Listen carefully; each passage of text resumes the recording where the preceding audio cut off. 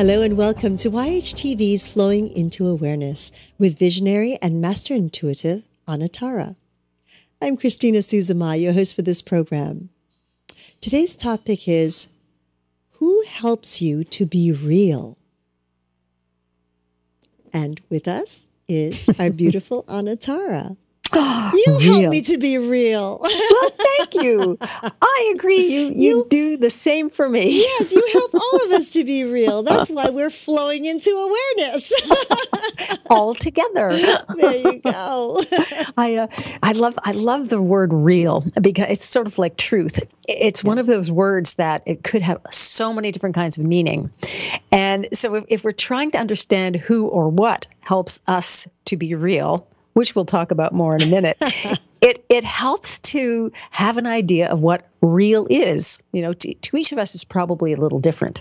Um, my definition of real in this little discussion is being and, and representing and living as and showing what the the most true and and precious part of your essence is all about. Mm. So there is, you know, there is this stream of being, this stream of consciousness connected to the all that is that flows through into this life, this physical and material life that we live and lead, that is representative of what is really us. And sometimes we're looking for what we feel is really us. Sometimes we are not aware of how to express who who we really are or what is real for us uh, just because we don't know how to how to taste it. Now that may seem strange but but how do we taste our own reality? What senses do we use to say oh that's the real me and that's not the real me. Mm. or or that taste is so familiar and and, and so deliciously um, seductive to me that maybe that's the real me. And that taste of of of something that a behavior of mine that I that I have or a friend that I'm engaging with. Now that doesn't taste so so good to my palate to my palate of definition of self so mm. there's a lot, lot having just been said. one of the easiest way, ways to find out what is real for yourself is to ask about who reflects to you or who helps you be real. So sometimes it's a what. Sometimes we drive a certain kind of car because we think, oh, this feels like it represents the real me. Or we wear, wear certain kinds of clothing. Or we read certain kinds of magazines or books because it feels or tastes like or sounds like or stimulates us in a way that says, this is helping me to be real. And, and much of the time, that is true. The thing that we are most interested in, the thing that tastes the best, that makes us tingle the most, that makes us salivate the most, maybe those are things that are directing us t- into um, um, an understanding of and an observation of what is real, who we really are. And maybe some of those things are rather things that we have adopted because we thought that was the real us. There was an idea that we heard from our parents or a friend or, or some idea that bubbled up inside us that said, um, You'll be real someday when you own a sports car. Uh, you'll be real someday mm. when hmm. you've written a paper about such and such. You'll be real someday when you achieve a certain kind of feeling in a relationship. Well, maybe that feeling belongs to somebody else's relationship. and and maybe that that fast sports car, that automobile, when you step into it, it just doesn't match you. There's nothing about it that feels good to your body. And maybe you don't really like going quickly. maybe mm-hmm. you'd rather be walking slowly. So again, who or what helps you or shows you how to be real?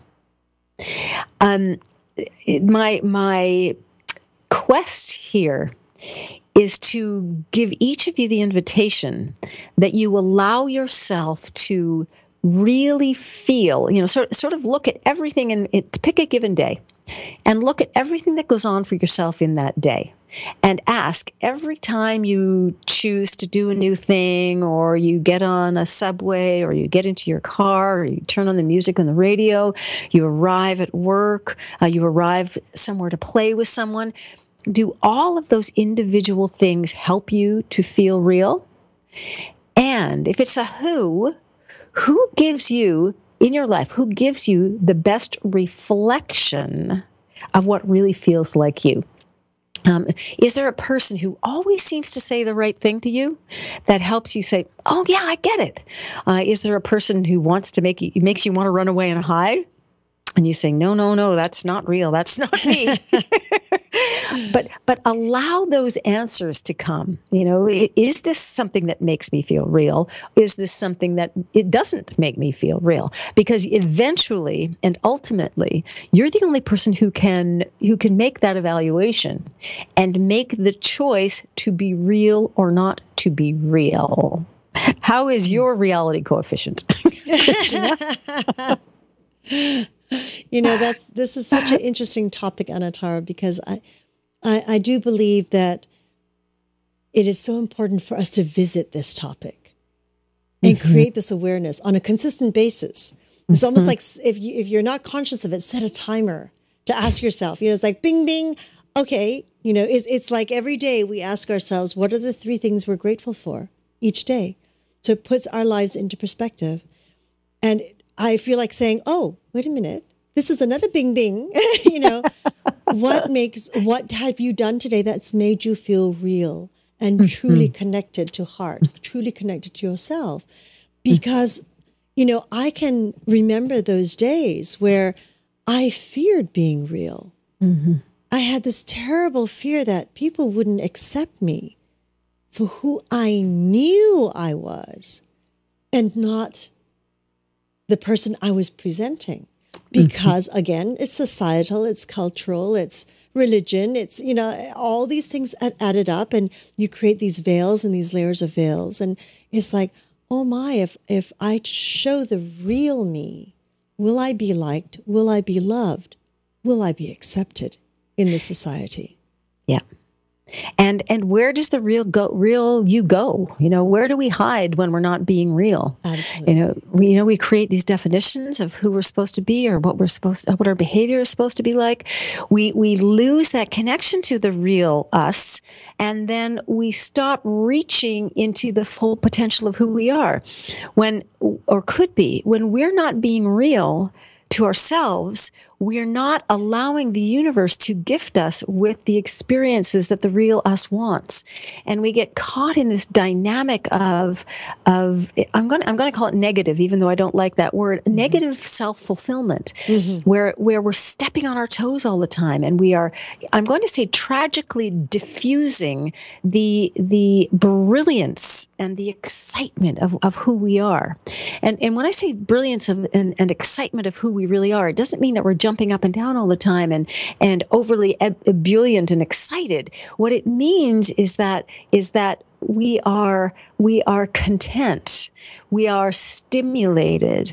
We are are engaged in what is the real us. And and being the real us the real you is always going to lead us into the into the the, the stream of existence that we came here to be, mm-hmm.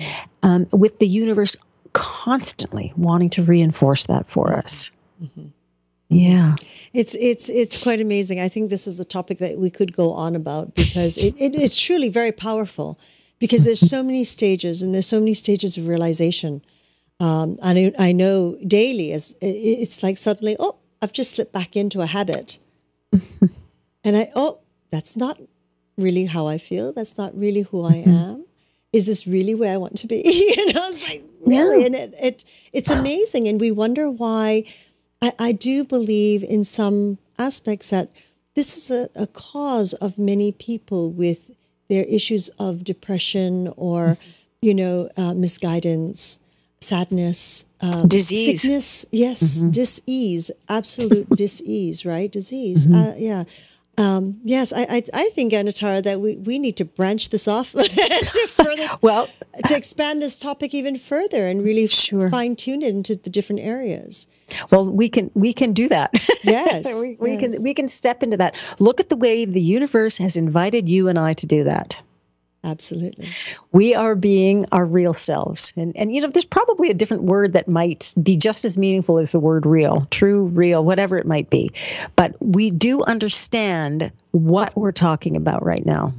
And you know, when you were talking about how we fall back into a habit, those habits that we um, that we that they, they become contagious. Yes. Like literally, they they continue to come back. It's like recatching a cold over and over and over again because that's what we come to know and that's what we come to accept. You know, whether it's whether it's holding on to holding up and supporting that brilliance of ours or not. Right. But you know, we take it and we we we somehow believe it in our acceptance of yes. it and then it just it, it you know it, it just keeps flowing yes. the contagion increases it we don't ever step out of it yes. so you know if we, we the last time we spoke we talked about saying what we really mean you know speaking without without filters as babies and children do using our voice our sound our creativity our our expression of self to to be um, to be a representation of our real selves. It's it's all related. Mm-hmm and and whether we whether we we do it by observation first and and then try an experiment here and there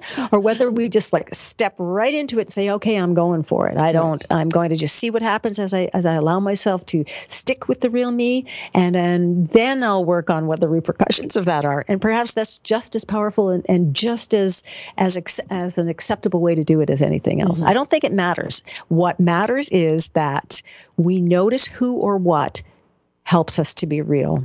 And we continue to follow those things. Mm-hmm, mm-hmm, mm-hmm. Okay? Mm-hmm. That's yes. the most important thing. Yes. And, and, Yes, it's just the stages, just stages, one step yeah. at a time. breathe. Always breathe. Always breathe. Oh, this is wonderful topics. Thank you so much, Anatara. You're welcome. Yes, remember to be real, authentic. There's Authentic. the word. there. Now that's a beautiful word. That is a beautiful word. Oh my goodness. Thank you so much, Anatara, for another wonderful session. And of course, we would like to thank each and every one of you for joining us in this new platform of education and information. We're grateful for your continuous support and we look forward to hearing your feedback on how we can serve you better.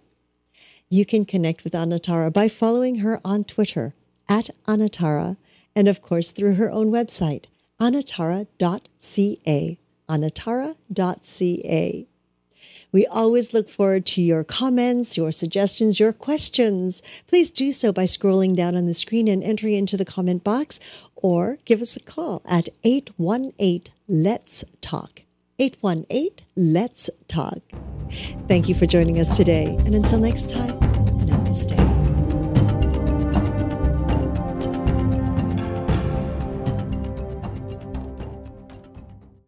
Even then I realized it's not that someone is different or having these strange experiences. it's what it means to them. So I, I assumed it would be scary, like Martians or something. And she said, Oh, no, no, they're smiling. They keep me company. And I realized that that was, other than coming to the emergency room, that was for her social contact. And to give her medication, to mm-hmm. take that away without giving her something else would have been cruel.